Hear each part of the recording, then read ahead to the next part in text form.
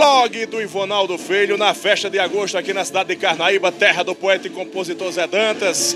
Aqui com Juninho, ele que é Juninho e Forró Mió, daqui a pouco no palco, fazendo uma grande festa para todos nós. Juninho, falar aí da emoção, eu queria saber de você, o que é que você sente nesse momento, para fazer mais um show para todos nós.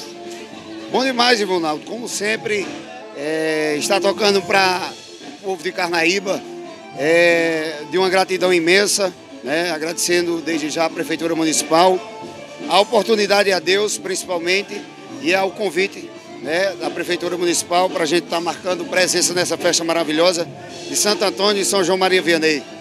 Bom demais. Agora me diga aí, você preparou o que para a galera? O que é que tem no repertório hoje aí?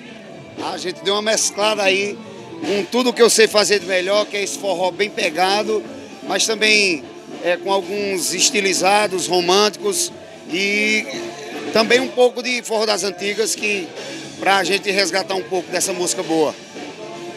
Juninho tá sempre com a agenda aí, sempre tocando aí nas localidades aí, né, Juninho? Graças a Deus, Ronaldo. Graças a Deus. A gente já tem uma estrada aí de 20, 20 e poucos anos de estrada, então a aceitação sempre muito boa quando a gente vai. Graças a Deus. Muito bem, Juninho, muito obrigado e desejo sucesso a você nesse show aí que você vai fazer para todos nós aqui.